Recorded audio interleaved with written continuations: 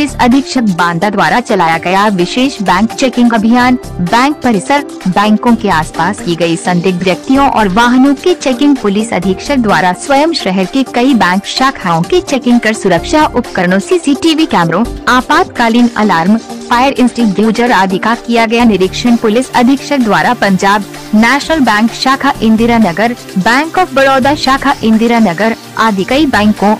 को किया गया चेक अभियान के क्रम में समस्त क्षेत्राधिकारियों और थाना प्रभारियों द्वारा अपने अपने क्षेत्र में की गई बैंकों की चेकिंग बता दें कि पुलिस अधीक्षक बांदा अभिनंदन के कुशल निर्देशन में जनपद में अपराध तथा अपराधियों पर नियंत्रण लगाए जाने तथा बैंकों और उसके आसपास के क्षेत्रों से होने वाली लूट छिनाइते चोरी तथा चप्पेबाजी जैसी घटनाओं को नियंत्रित करने के लिए आज दिनांक 17 में 2022 को विशेष बैंक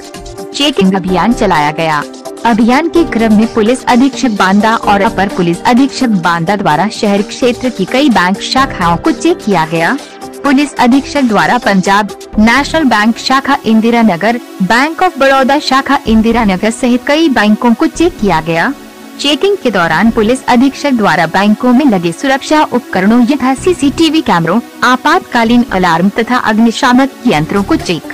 किया गया। कुछ एक स्थानों पर सीसीटीवी कैमरे खराब पाए गए, जिसके संबंध में बैंक अधिकारियों से वार्ता कर उन्हें ठीक करवाने के लिए कहा गया। पुलिस अधीक्षक द्वारा बैंक अधिकारियों, कर्मचारियों से वार्ता कर उन्हें बैंक का कार्य सुचारू रूप से चलाने के लिए पर्याप्त सुरक्षा व्यवस्था प्रदान करने का आश्वासन दिया गया। पुलिस अधीक्षक द्वारा निर्देशित किया गया कि बैंक में आने वाले ग्राहकों के वाहन निर्धारित